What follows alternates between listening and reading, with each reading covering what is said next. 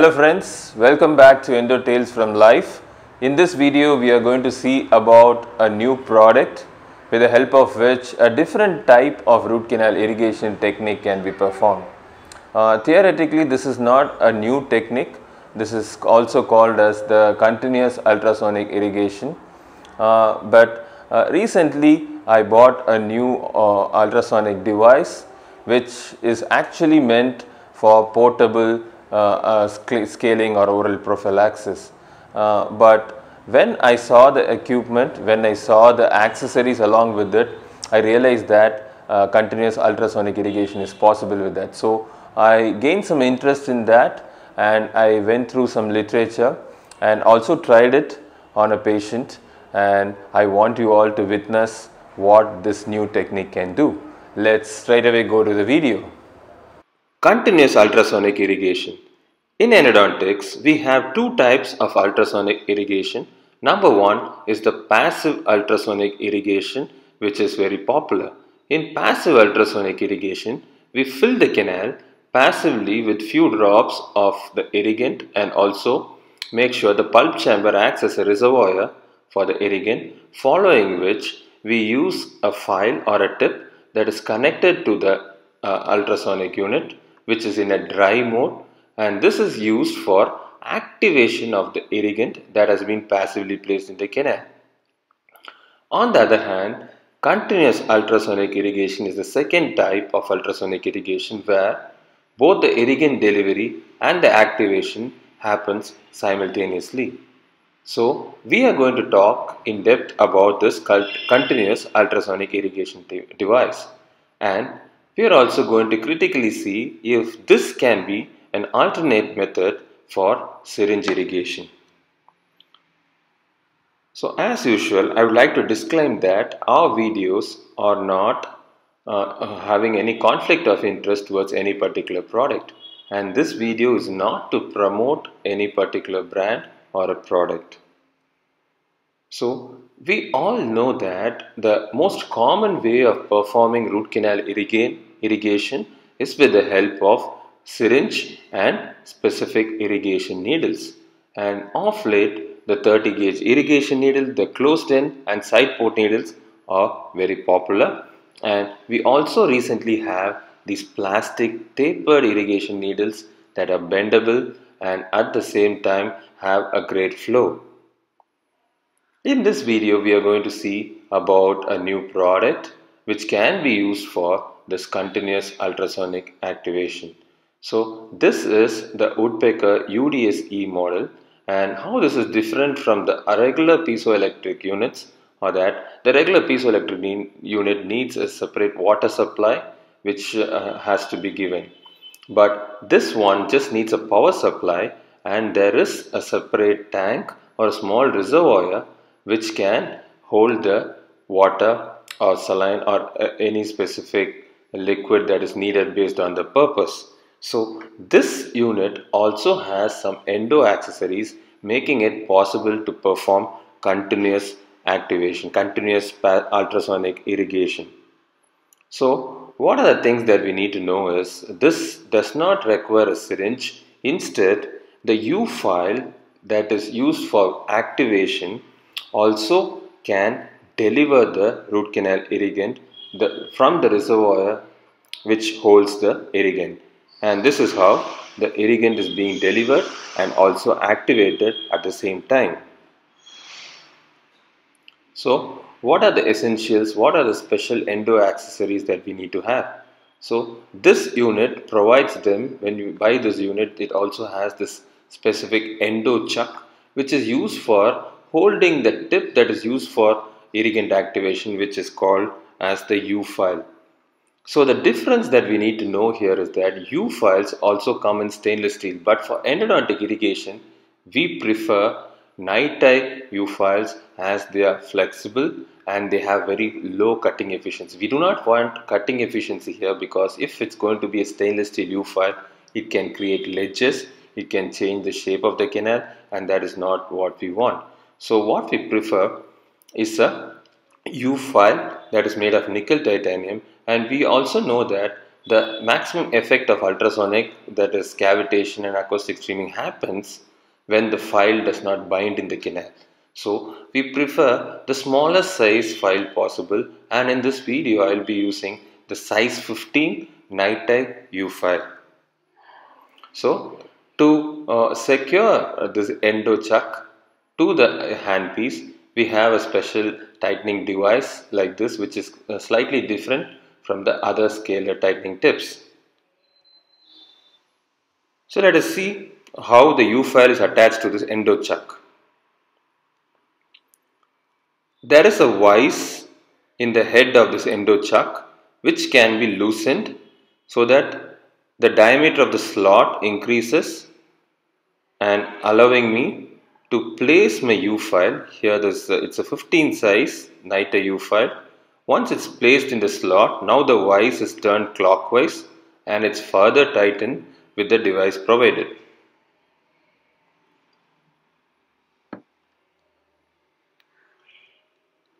So as I earlier mentioned we prefer NiTi as it's flexible and does not have a cutting tip and also the smaller size file has more space to uh, uh, oscillate inside the root canal. And now this endo chuck along with the U file can be attached to the piezoelectric handpiece.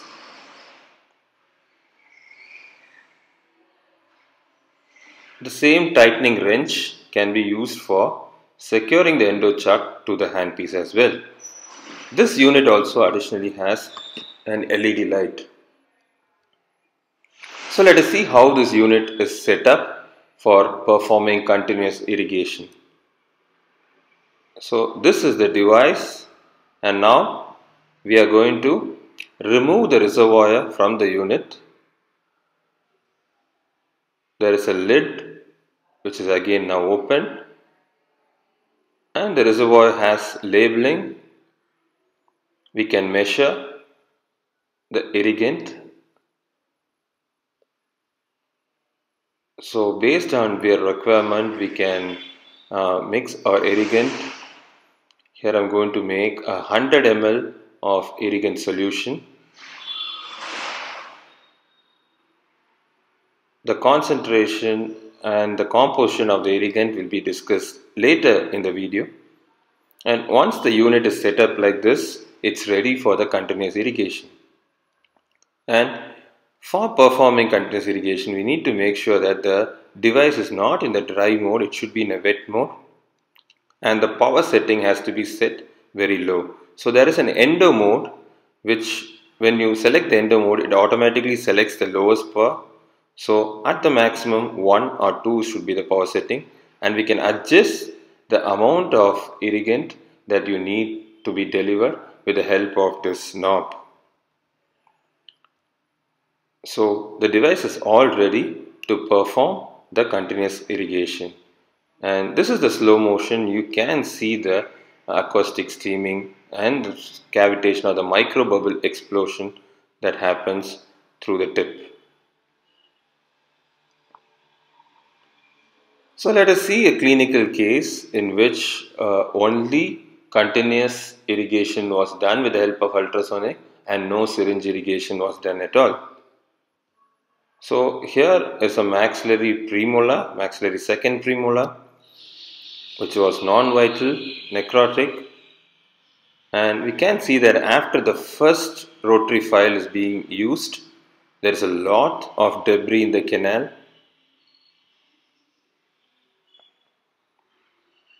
And in this particular scenario, after this, we are going to perform continuous irrigation and no syringe irrigation. You can see the entire root canal and the pulp chamber coronal third is full of debris and here we are. With the help of 15 size NiTi file, we are performing irrigation and activation simultaneously and we can see the debris getting clear. So we further perform the shaping and intermittently we do the same continuous irrigation.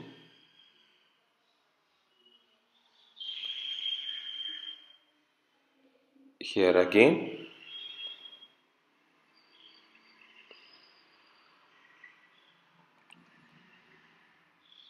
We can see that the irrigant is debriding the canal much efficiently as both a higher volume of irrigant is used with activation. And now the master cone radiograph was taken to verify the fit and before the final obturation we are going to perform again a final irrigation. So personally I would prefer a longer contact of the irrigant and an increased volume of irrigant than increasing the concentration of the irrigant. So there are references for this and this is what studies recommend which recommends the use of multiple rotary files, longer contact time and higher volume of irrigant than the concentration. So the final irrigation is also performed with continuous irrigation here.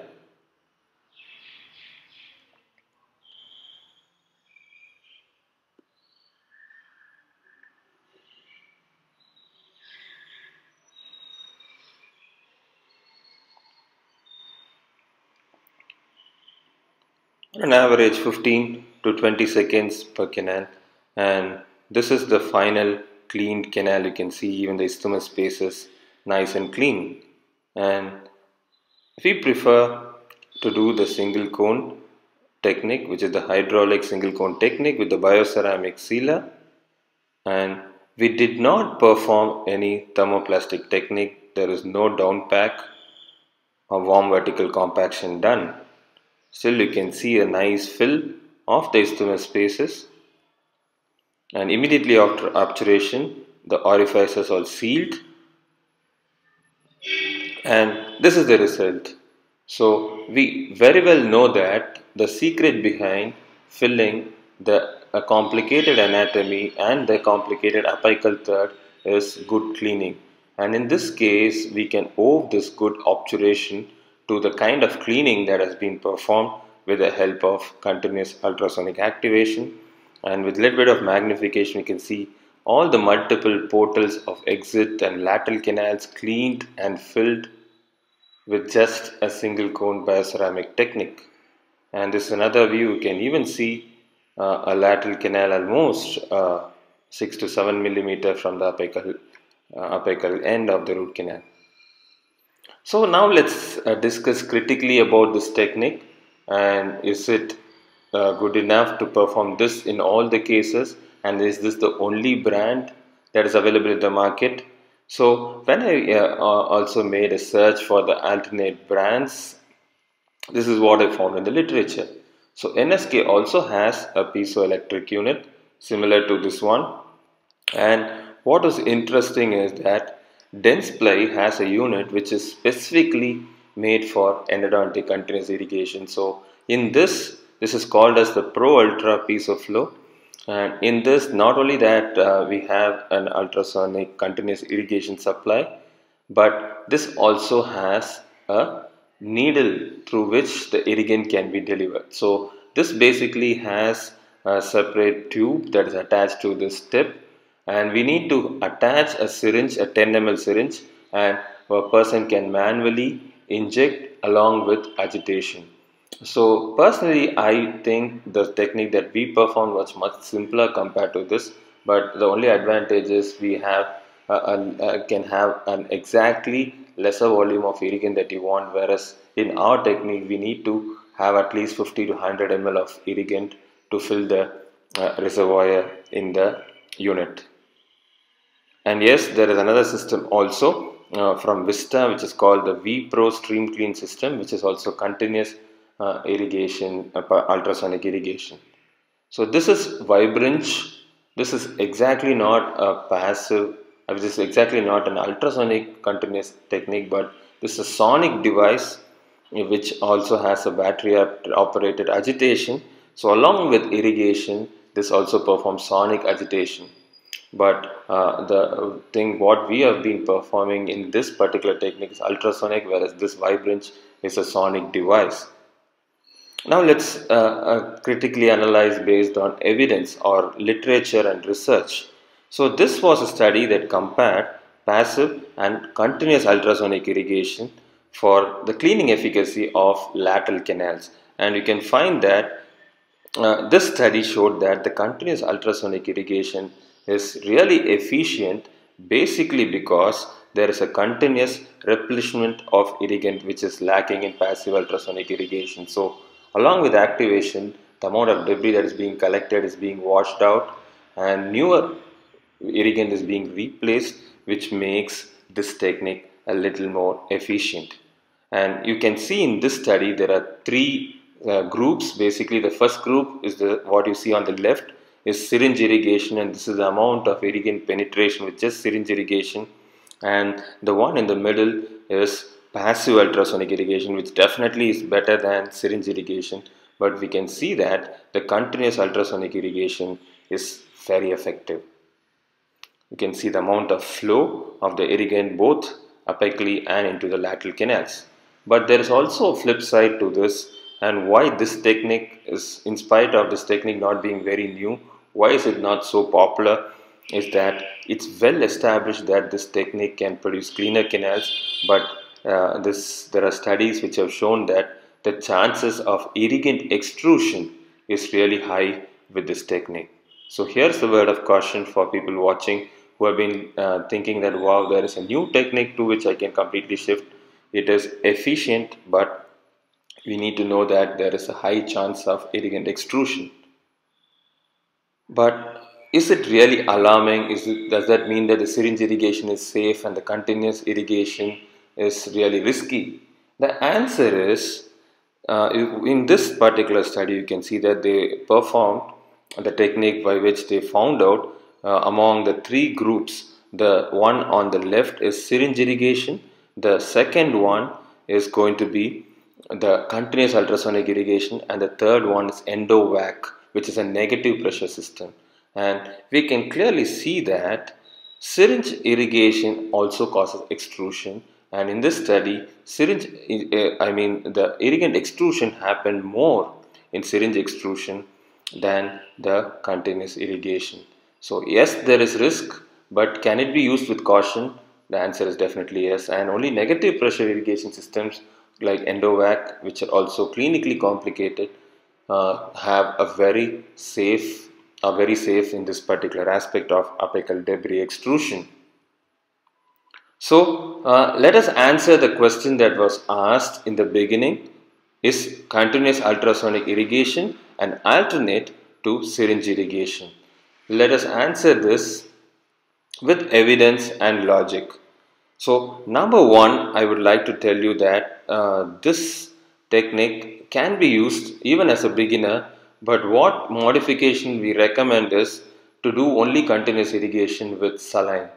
Do not use hypo uh, as a beginner or people who don't use microscope because you do not have a control over the irrigant extrusion. So even if uh, it's going to be an experienced dentist, still uh, what is recommended is to use a highly diluted solution. This is basically to increase the volume, debride and if you want full strength solution which can be used in the end in a passive way for cleaning the root canals. So what uh, irrigant I used in this particular case is a very diluted hypochlorite so something somewhere between 0.5 to 1% of sodium hypochlorite with uh, a chelating agent which is a mild chelating agent which is also uh, something called as continuous chelation I used uh, HEBP powder along with this again in a much lower concentration than what the manufacturer recommends. So this is basically uh, a solution that is used more in volume for debriding the root canal but also the lower concentration of hypo and the chelation is going to help uh, uh, for effectively debriding the smear layer and penetrating into the lateral canals and also disruption of the biofilm. So what is the take home message from here is that restrict your continuous irrigation to only cases with closed apex and sizes that have been prepared if your apical preparation size is really uh, not too big. So this is the take home message from this new technique. So every new technique is exciting at the same time we should not blindly jump into it I want you to critically analyze the pros and uh, the cons before you use it in your practice.